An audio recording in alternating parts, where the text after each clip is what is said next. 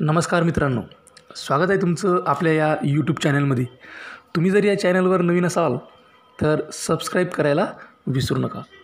मित्रांनो आज आपण बघणार आहोत वर्ग बारावा विषय राज्यशास्त्र प्रकरण सहावे जे शेवटचं प्रकरण आहे भारत आणि जग. तर या पाठातील स्वाध्याय आपण बघणार आहोत. चला तर मग सुरुवात करूयात. प्रश्न पहिला अ आहे दिलेल्या पर्यायांपैकी योग्य पर्याय निवडून विधाने पूर्ण करा. तर पहिलं विधान दिलेलं आहे अलिप्त वादाचा गाभा हा आहे. आणि चार पर्याय दिलेले आहेत. अ जागतिक घडामोडीचे स्वतंत्र आकलन. ब शीतयुद्धात सहभाग. क लोकशाही समाजवाद एक धोरण. आणि ड प्रादेशिकतावादाचे धोरण. तर या चारी पर्यायांपैकी योग्य पर्याय आहे जागतिक घडामोडीचे स्वतंत्र आकलन. तर विधान पूर्ण करायचे झाल्यास असे करावे लागेल. अलिप्तवादाचा गाभा जागतिक घडामोडीचे स्वतंत्र आकलन हा आहे. दुसरं विधान आहे भारताने नदी पाणी वाटपाबाबत फराक्का करार या देशाबरोबर केला आहे. आणि पर्याय दिलेले आहेत अ बांगलादेश ब पाकिस्तान क चीन ड नेपाळ. तर योग्य उत्तर आहे अ बांगलादेश. आणि पूर्ण विधान आहे भारताने नदी पाणी वाटपाबाबत फराक्का करार बांगलादेश बरोबर केला आहे किंवा बांगलादेश या देशाबरोबर केला आहे. ब आहे प्रश्न पहिला ब. गटातील चुकीची जोडी दुरुस्त करून लिहा. त्या अगोदर आपण जोड्या पाहूयात. पहिली जोडी आहे नाटो युरोप. दुसरी जोडी आहे ॲन्झस आफ्रिका. तिसरी जोडी आहे सिटो दक्षिण पूर्व एशिया. आणि चौथी जोडी आहे सिंटो पश्चिम आशिया.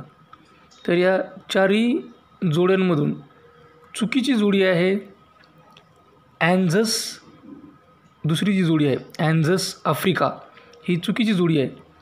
तर दुरुस्त केलेली किंवा योग्य जोडी अशी राहील ॲन्झस म्हणजेच ऑस्ट्रेलिया न्यूझीलँड युनायटेड स्टेट यांचं जे एकत्रीकरण आहे ते आहे ॲन्झस तर ANZUS Australia New Zealand United States ही योग्य जोडी राहील.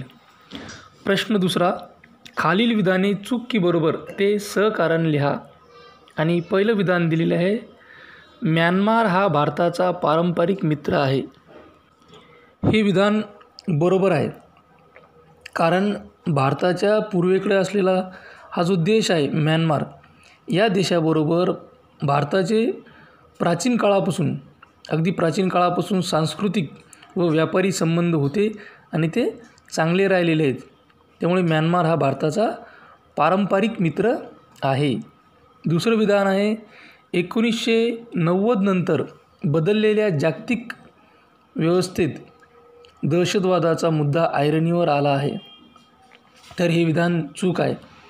कारण एकोणीसशे नव्वदनंतर जे बदललेली जागतिक व्यवस्था आहे किंवा जागतिक अवस्था आहे या व्यवस्थेमध्ये आर्थिक वृद्धीसाठी जागतिकीकरण हा मुद्दा ऐरणीवर आला आहे. दहशतवादाचा नाही. त्याच्यामुळं वरील विधान हे चूक आहे. तिसरं विधान आहे सागरमाला या योजनेत रस्त्यांचा व्यापक विकास अभिप्रेत आहे. हे विधान चूक आहे कारण सागरमाला या नावातच आपल्याला दिसते की ही बंदराधारित विकासाची योजना आहे. ही बंदर आधारित विकासाची योजना आहे. त्यामुळे हे विधान चूक आहे. प्रश्न क्रमांक तीन आपले मत नोंदवा.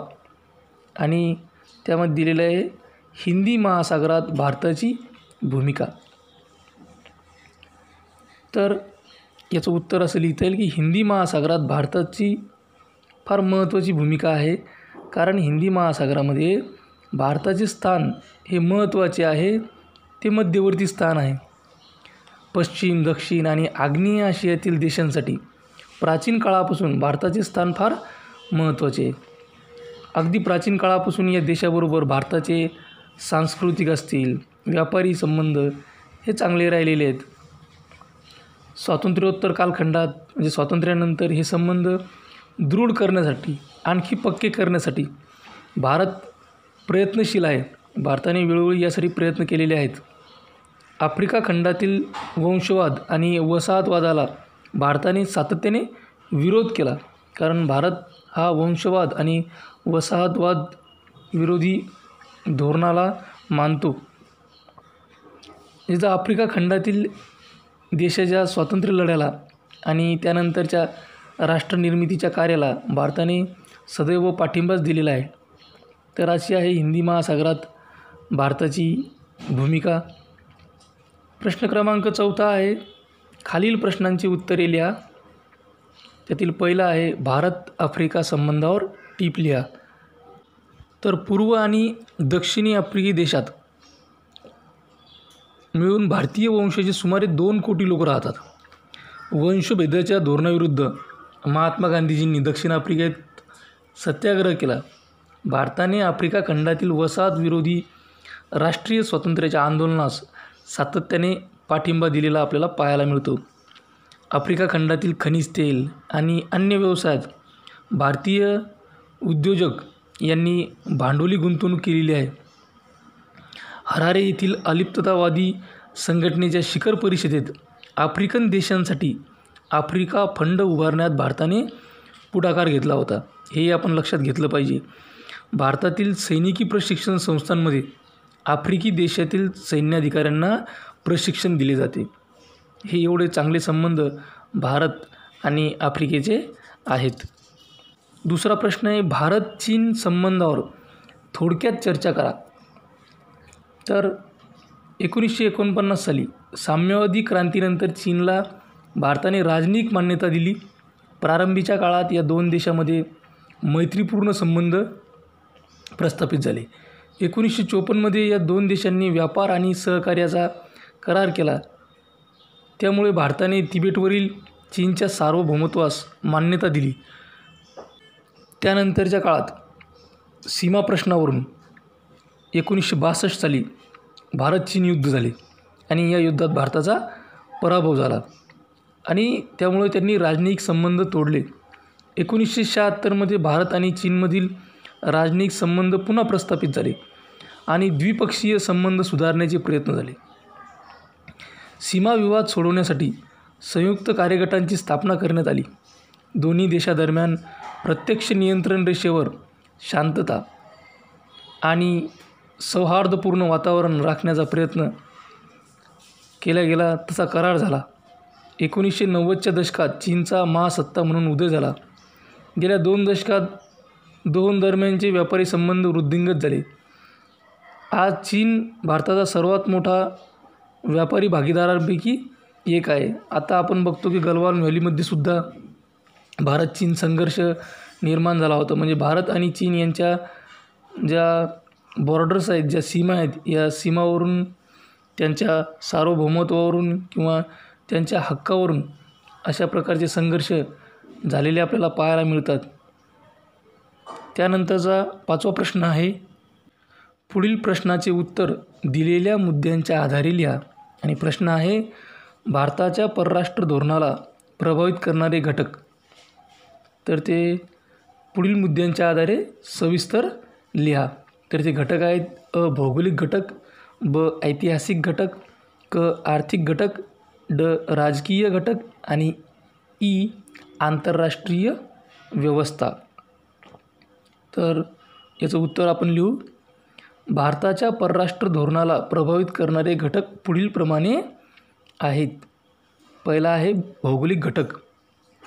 की दक्षिण भारताचा भारताची विस्तृत किनारपट्टी तसेच उत्तर आणि ईशान्येकडील हिमालय पर्वताच्या रांगा यांनी भारताच्या परराष्ट्र धोरणाला आकार दिलेला आहे. उत्तर आणि ईशान्य सीमेपलीकडे चीनसारखा मोठा देश असणे मोठा आणि बलाढ्य देश असणे याचाही परराष्ट्र धोरणावर परिणाम झालेला आहे. शेजारी देशांची भारताबरोबर सीमा आहे.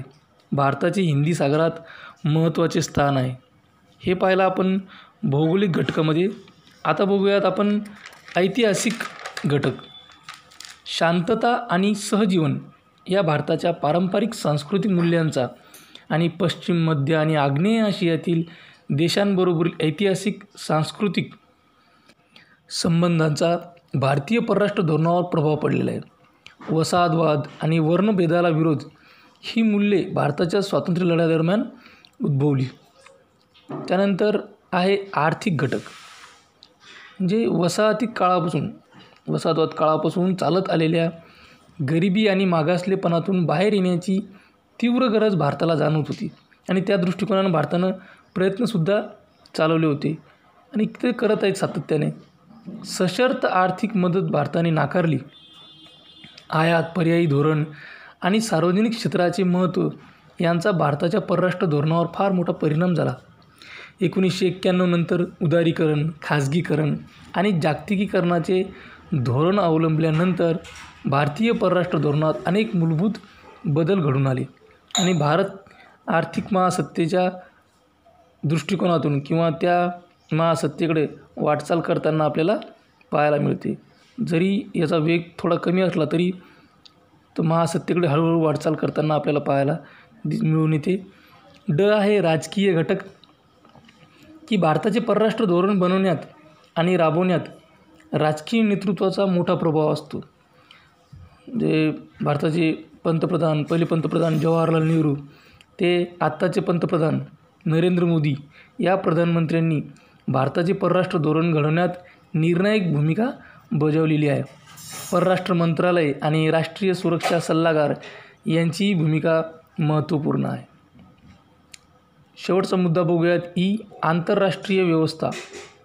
की शीतयुद्ध ज्याला आपण कोल्ड वॉर म्हणतो या शीत शीतयुद्धाच्या काळात द्विध्रुवीय व्यवस्था आणि महासत्तांचे राजकारण यांचा भारतीय परराष्ट्र धोरणावर प्रभाव पडला.